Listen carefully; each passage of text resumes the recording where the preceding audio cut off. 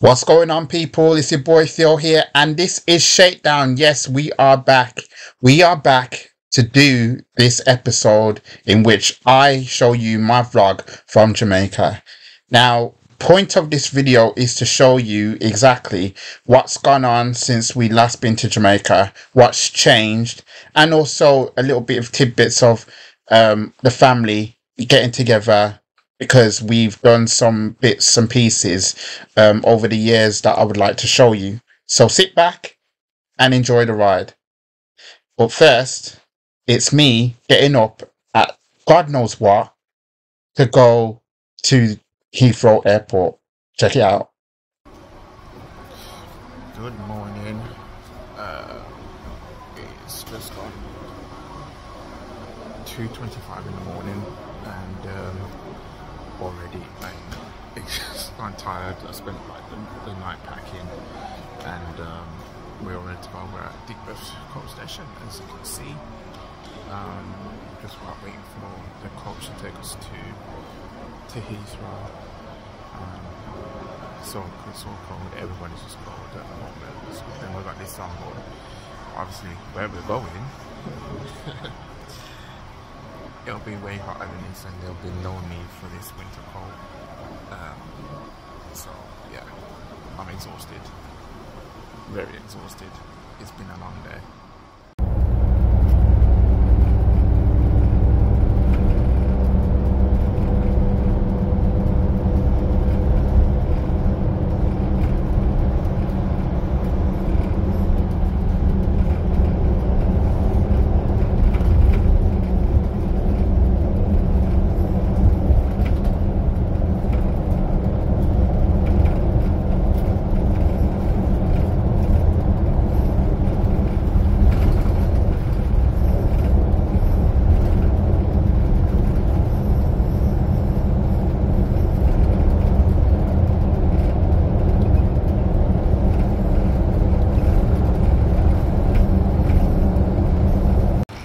Okay, Virgin Atlantic.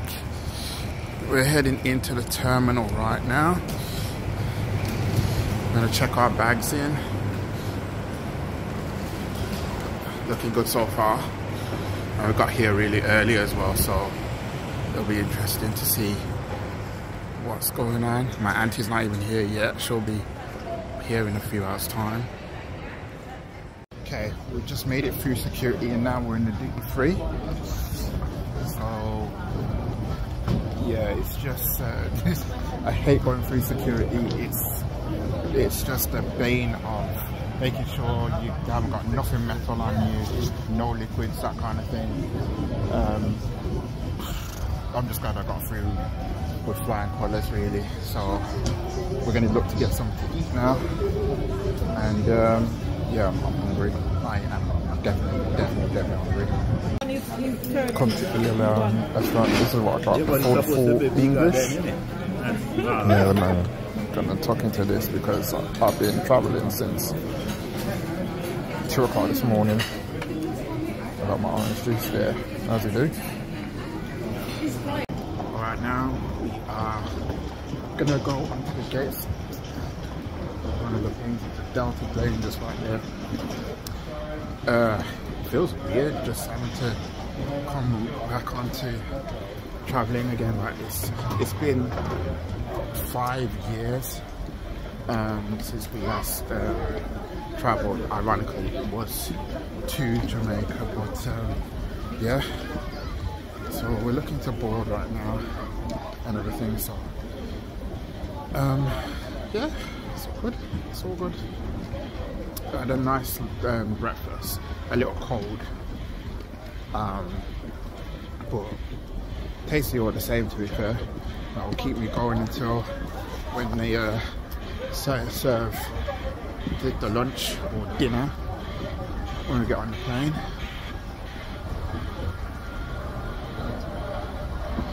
So yeah, just having a good long stroll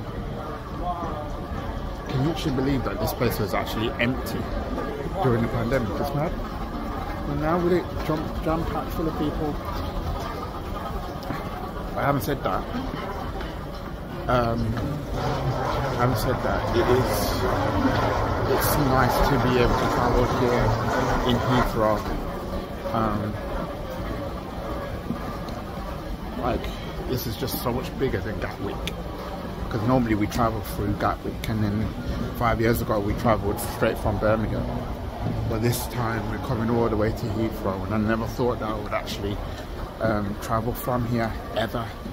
Um, and yeah it's cool. It's cool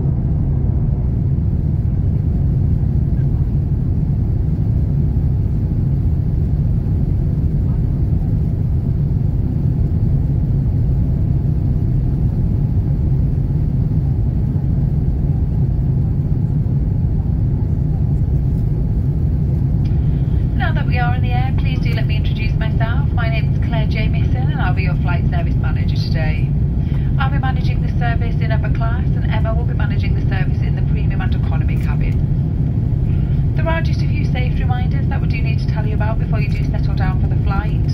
As the fasten seatbelt signs are still on, please keep your seatbelts fastened for now. Your seatbelt will help to keep you safe from counter turbulence, so you should keep it fastened whenever you're in your seat. And if turbulence is expected or occurs, the captain will turn on the fasten seatbelt sign, and the crew will need to visibly check that your seatbelt is fastened.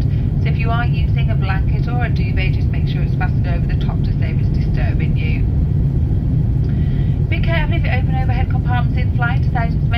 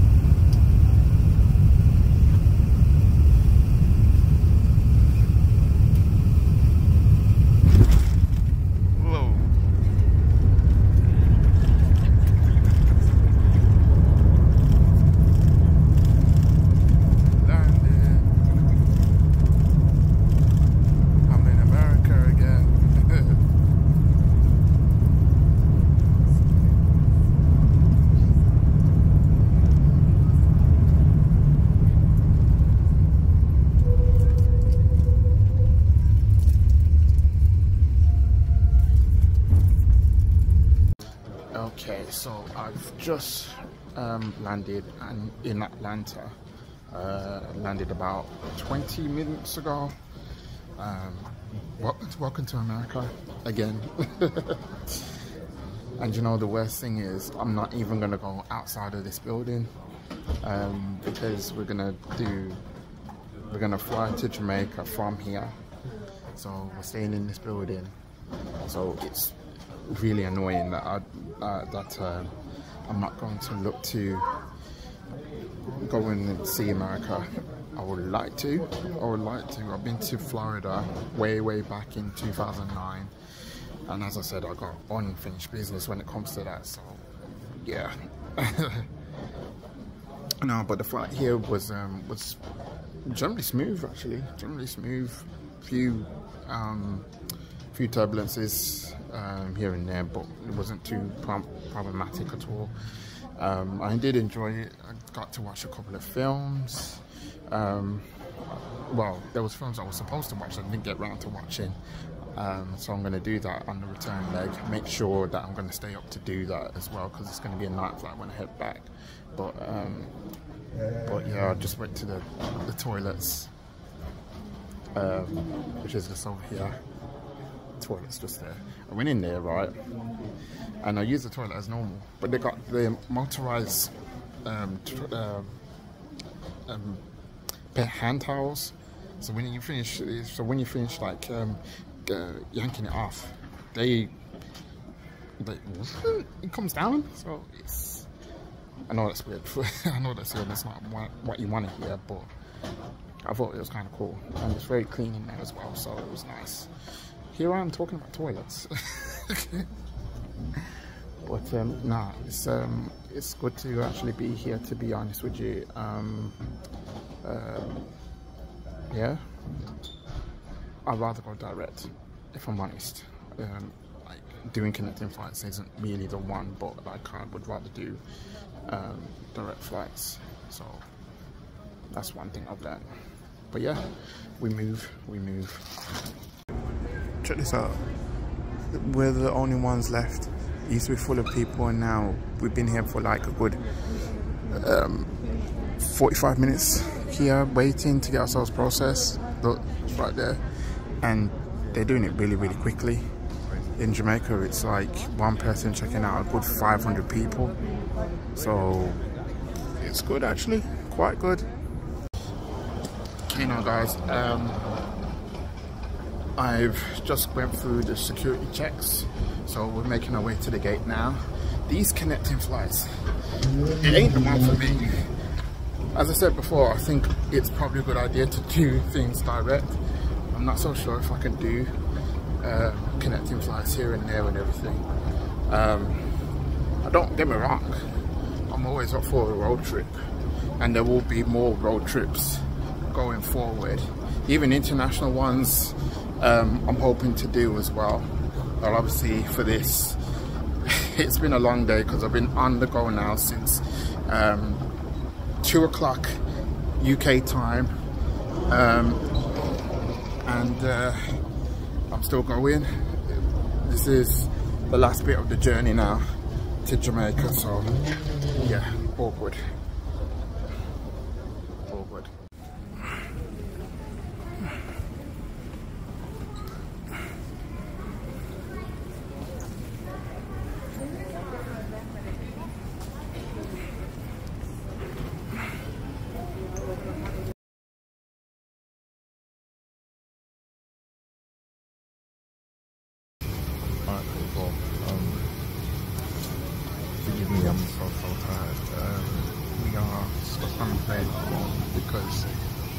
Kingston. to fly from. Kingston. Uh. See, my brain's puzzled. We were meant to fly to Kingston from Atlanta.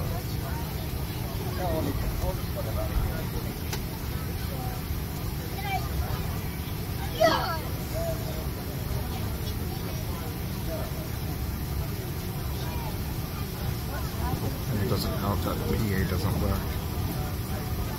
Uh, I can't even hear the the announcements very well on this plane.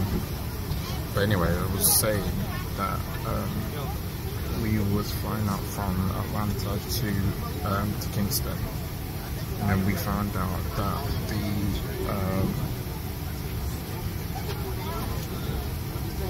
that Kingston has got a dense park, very dense park, and, it, and they were trying to circle around, see if they can land the plane.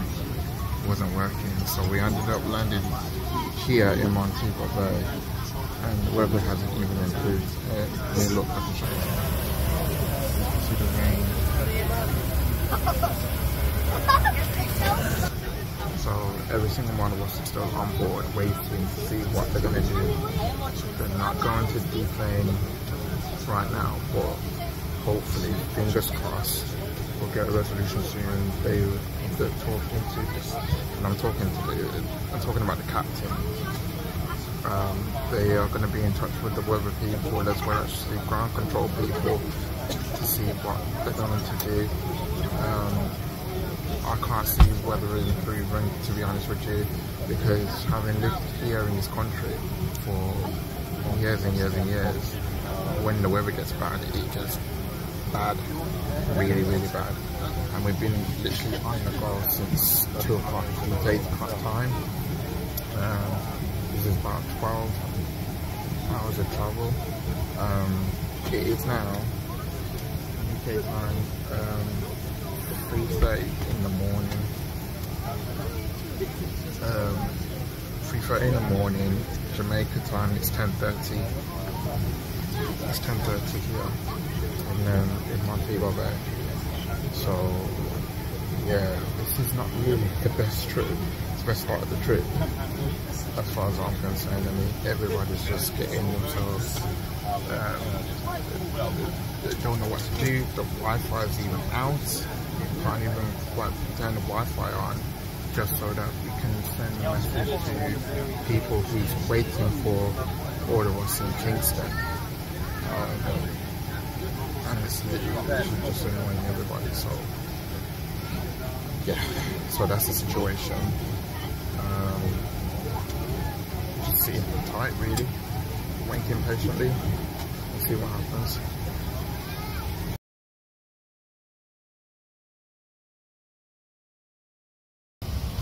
Sit back. We've been here for over two hours and we're still here in Montego Bay. Um, just waiting to see what's going to happen. Um, the weather's not getting any better. It is still raining outside. Continuing to show through. Still raining outside. We're still here because of the dense fog um, that um, just got and um, we're still waiting to see what's going on. I am totally tired. I'm frazzled. I am just really, really annoyed. I cannot.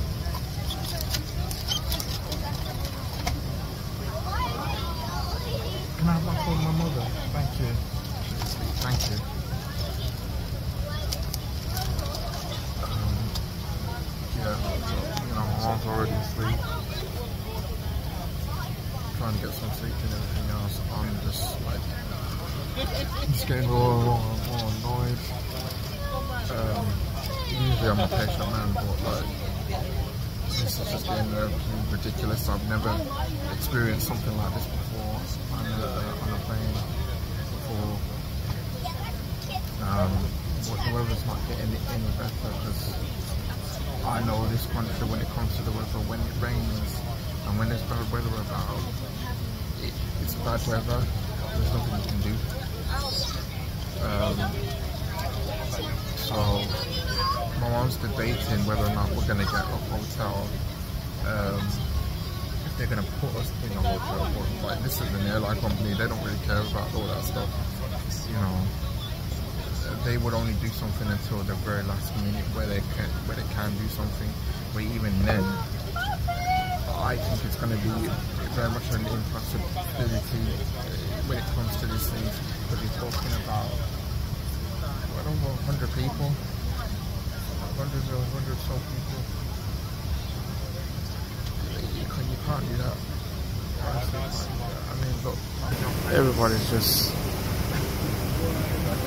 really getting getting to be impatient right now, and um, and they just want to get to where they're going, you know, you know, staying with loved ones, going to hotels, yada yada yada. It's not good. It's just not good. And um, I think the situation needs to settle soon. The fact that there's no Wi-Fi, so I can't even, I can't even like get in contact with anybody to tell them about the situation so that we can we, we can advise ourselves on what to do. That's even bad in itself. I mean, this place had free Wi-Fi. Never been on an airplane before that had free Wi-Fi. And um, yeah, we've been stuck here for the last two hours. It is um, it is 11:30, coming up to 11:30 Jamaican time. It's not good. I've been on the go since um, two o'clock UK time. The weather is not improved in uh, Kingston. They say it's not going to improve the next few hours.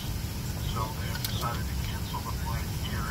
Please remain seated currently. They are working on getting customs available for us to deplane. Right now they're talking to them about getting that organizational and the minutes. Appreciate your patience. Deplaning soon. Yeah, we're going, so we're deplaning soon. But I can tell from one time that the weather's not going to going to improve. I know this country and I know how it works. I can tell. There you go. So we're getting off this plane um, shortly, and then we've got to figure out what we're going to do. So yeah.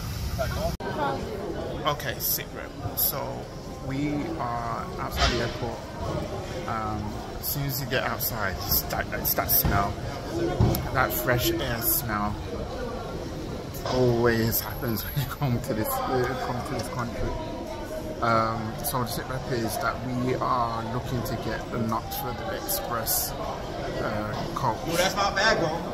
Um, to get down to um, to Kingston, but it's going to be in the early hours of the morning, so we would have to stay here, and then um, and then from there, 5:15 in the morning, just to get back. You could not even make this up.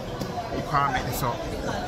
Um, obviously, it would be nice if we could just jump in a taxi and everything else, but obviously to have a taxi that will hold our suitcases and everything else, it's it's it's a it's a I don't know I don't even know if I should actually say that this is turning into a nightmare already, but you just can't make this up. You just can't, and um, and uh, yeah, I just um,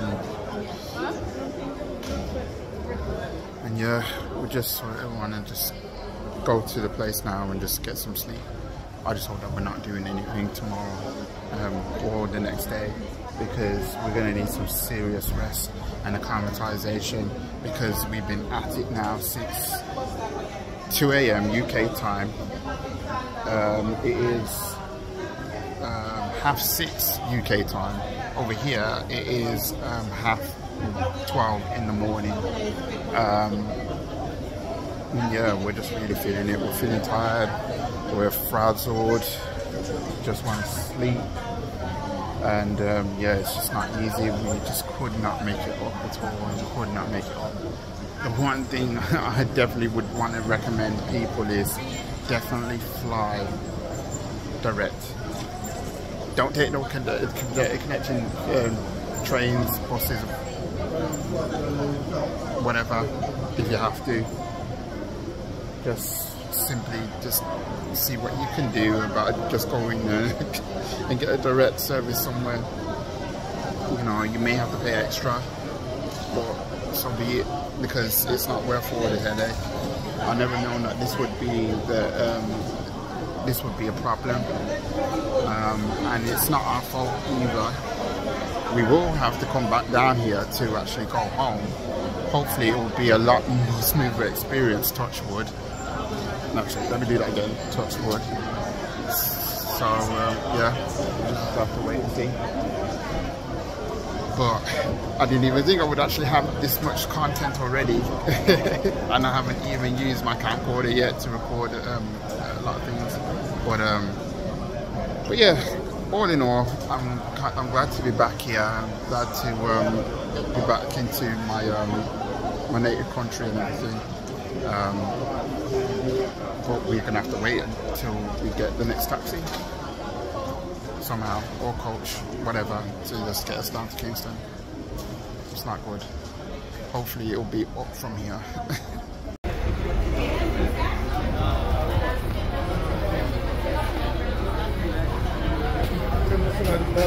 So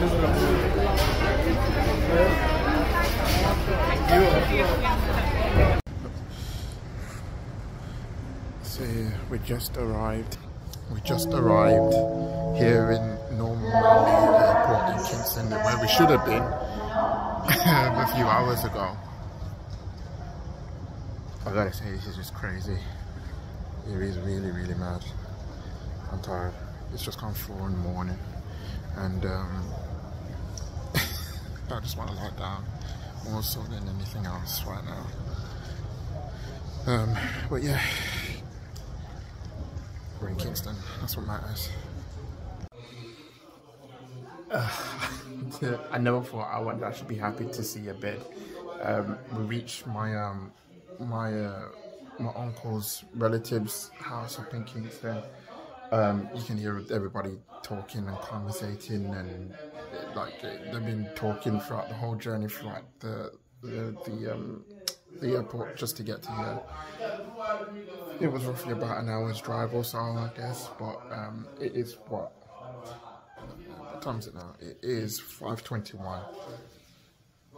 Um, Jamaica time. It is uh, 521 Jamaica time. It is, uh, God, let me get the time up. It is uh, 1020 UK time. 1020 UK time, and um, yeah, I'm absolutely drained. I don't think I can do something like that ever, again. Like, it's just the connection, and I think it's just the added, the added inconvenience that made it even more stressful. Um, there it was on the plane circling around and I was there thinking like um, we're gonna have to divert they didn't want to divert and we had no choice in the end.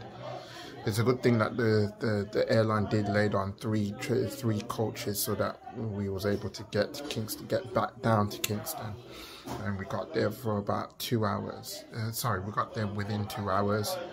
Um, and then obviously it was just a wait for um, my uncle's relative to come and pick us up.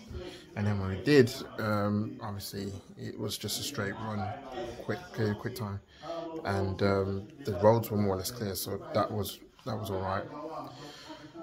Um, so yeah, it's uh, so yeah, it's just uh, been a, a, hell of a journey, a hell of a journey, and um, obviously there's still more stuff to come so this is just only the beginning. This is only the beginning. I'm not saying that there's going to be like um, mad journeys to make but there's going to be some interesting stuff that's going to be made. Um, there's going to be interesting things going to be happening throughout this trip. Um, so we still got um, we still got Negril to come. We got obviously the house in Old Harbour. Um, we got other things to, to, to be doing as well. So it's going to be a, a, hectic two weeks to come.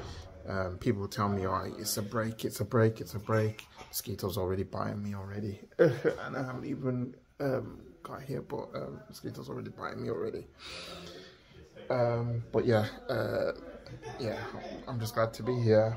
What I want to do now is just simply just rest and sleep. So, yeah, all good, all good. Uh, guys, morning, first day. We're driving on the streets of Kingston. We've got some errands to run. So caught up in a little bit of traffic. So we're just driving on the way to Kingston. In one, and you can turn on one, there, one. You can turn on one there, you can turn right and come back. So I'll just show you what it's like One there, in the streets of Kingston. The road I want to is just a pump water road and chopper road. A pump over and No, no, no, that's for that, you know, brother. Bless you, sir. Yeah, yeah, yeah, so my window, some window as well. Now that still, I'm a man, you can alert if it's dust. So I'm not always alert dust. You know, you see me as a white man, I. Like a mad, like, like. Yeah, man, if we start seeing and dust like an allergy, Especially when there find out I dust the house and I go back there. So it's like, you wet white. When we do, we use a rag, a wet the rag and white. Yeah. We kill the dust, it'll blow up. All the fan them, wet. Okay, we're at um, Island Car Rentals. So this is where we come to collect the car and everything. So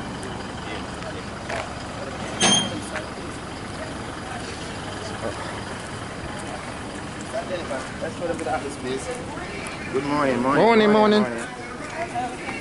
Okay. So this is the car that's gonna be transporting us around the island for the next few days or so. It's a um, Hyundai. Hyundai. It used to say Hyundai, uh, Hyundai, but it's a Hyundai. And as you can see, it's seat seven.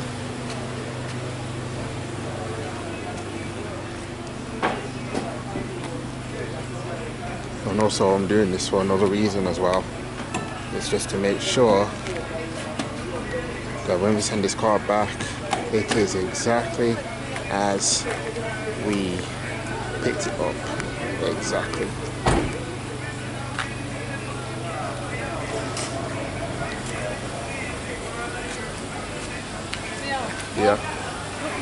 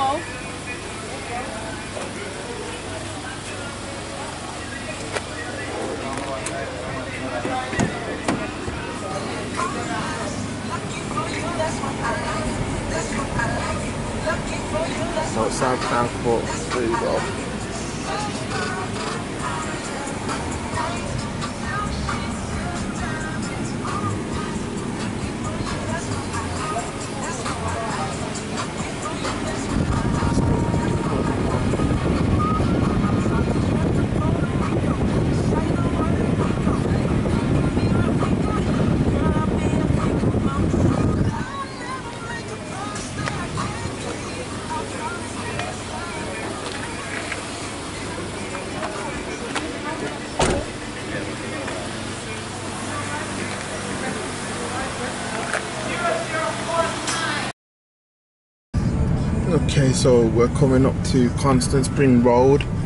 It's one of the busiest roads in all of Kingston.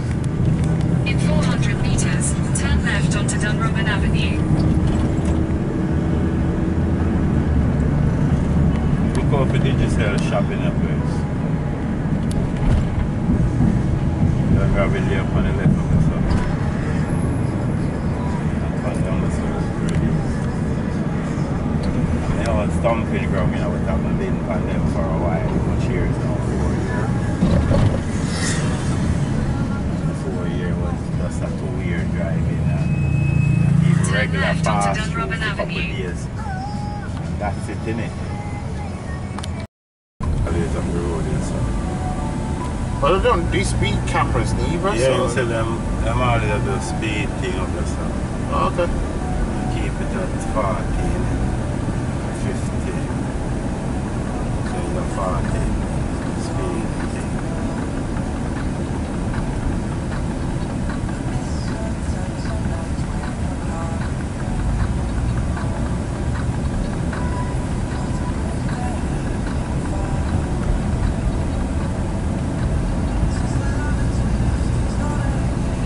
So, guys, just to clarification, we're in Kingston still. This is the national city. Um, this is the national city where, where, we're staying at the moment is just outside of um, downtown Kingston. You'd have to go over over that parts down there.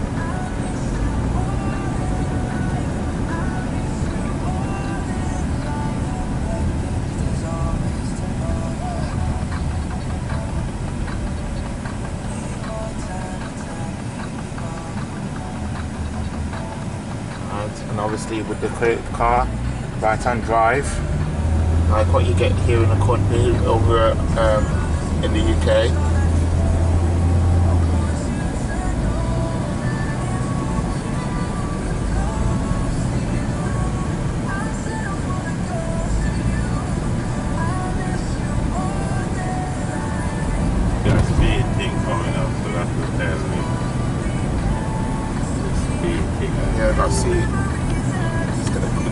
It's 50. Yeah, so 50 we're miles. doing 50 miles. 50 kil- kilo miles. Sorry. So I was good. I was in 40, 45. One, the road there, I'm in my lane. You don't need to tell me passing. Hey guys, this is how they drive. I'm filming this so that you know how they actually drive.